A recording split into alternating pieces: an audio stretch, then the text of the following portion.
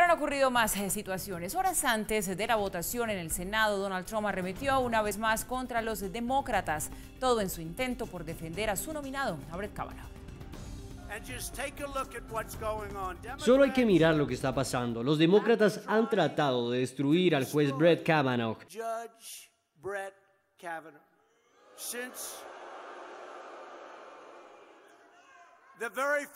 Desde el primer segundo en que lo anunciaron y lo eligieron por una simple razón.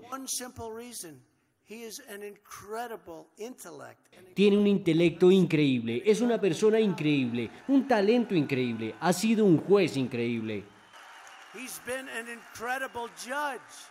Desde que Brett Kavanaugh fue acusado por Christine Blasey Ford y posteriormente dos mujeres más quienes narraron el supuesto acoso sexual por parte del juez cuando era adolescente, ha sido frecuente ver a Donald Trump defendiendo a su nominado e incluso burlándose del testimonio de Ford ante el Comité Judicial del Senado.